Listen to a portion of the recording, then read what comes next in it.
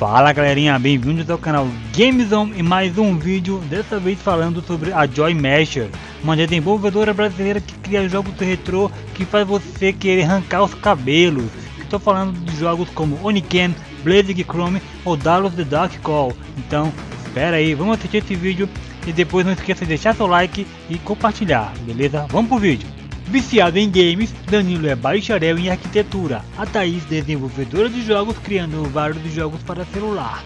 Também é game design. Com isso surge a Joy Masher no início de 2012, tendo como primeiro projeto Oniken, que seria um game 8 bits, com certa inspiração no game Ninja Gaiden. Oniken estava na gaveta do Danilo há algum tempo, quando um amigo lhe comentou desse projeto e ele resolveu voltar a desenvolver o game, chegando a finalizar e lançando em 2012. Como um novo projeto, tiveram o Odalo The, o Odalo The Dark Call, mais um jogo 8 bits, dessa vez inspirado em Castlevania, trazendo também dificuldades semelhantes. A Joy Masher mostrava querer trazer para os tempos atuais o gosto dos jogos retrô e fazendo isso com maestria, acertando na jogabilidade, efeitos sonoros e level design. Tivemos então mais um ótimo jogo, o Blade Chrome, tendo claramente uma inspiração no Contra Hard Corps e ao mesmo tempo trazendo suas próprias qualidades. Os jogos da Joy Masher são um pedacinho disso e daquilo, pegando várias inspirações para dar vida a um jogo retrô cheio de, cheio de mecânicas diversificadas. Após mudá-los, Daniel estava um pouco cansado de trabalhar em Metroidvania, queria voltar a jogos mais lineares e foi assim que começou a trabalhar em Blazing Chrome. Das diferenças de Blazing Chrome em relação ao Contra temos o uso de subarmas que pegamos nas fases, stages com veículos. Quando se finaliza o jogo, desbloqueia mais dois personagens com jogabilidades totalmente diferentes que ao invés de ter armas usam-se espadas dando um toque de Destroyer. A Joy Masher tenta trazer de volta o gostinho dos jogos da década de 80 e 90, jogos estilos 8 e 16 bits, porém com uma, com uma evolução na jogabilidade e game design. Apesar de serem apenas duas pessoas, eles mostram muito talento em seus jogos com muita criatividade e empenho, dedicando seu tempo para trazer um jogo novo e cheio de qualidade, não só para aqueles que se deliciam nos desafios dos jogos 8 e 16 bits, mas também aqueles jogadores atuais que se sentiram atraídos por este estilo de jogo.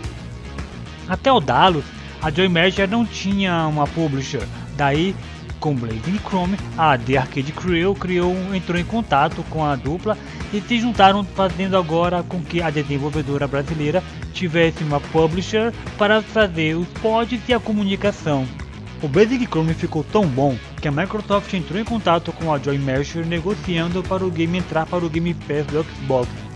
Também tiveram uma certa dificuldade para colocar seus jogos na Steam. Demorou um pouco para que o Odalus fosse aprovado na Greenlight, que é o sistema de aprovação da Steam. Até então, seus jogos eram vendidos de maneira comum, sem ter uma plataforma que ajudasse na divulgação. Esta foi uma das coisas que adiou um pouco o alavancamento de seus jogos retrô da desenvolvedora.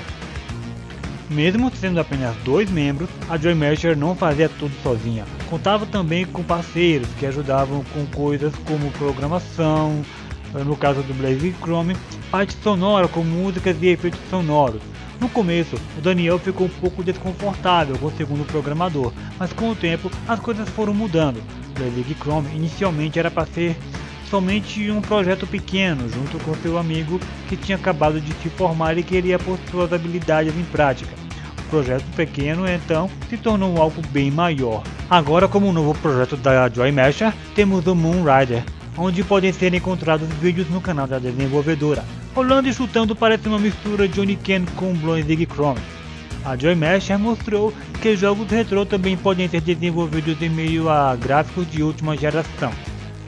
Mesmo não sendo fácil o desenvolvimento de jogos no Brasil, os estúdios nacionais estão surgindo e mostrando o potencial que os jogadores brasileiros têm para a criação de jogos.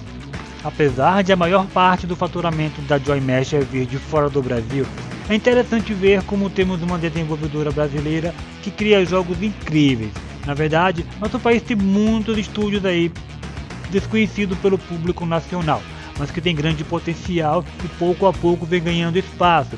Assim então esperamos que venham grandes, grandes estúdios que, é, consigam trazer jogos AAA.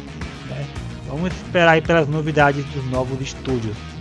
Então é isso aí galera, esse aqui foi um vídeo falando sobre a Joy Masher, espero que vocês tenham gostado e dê uma olhadinha nos jogos dela, que são muito bons caso você nunca tenha jogado. É isso aí, a gente se vê em breve, valeu!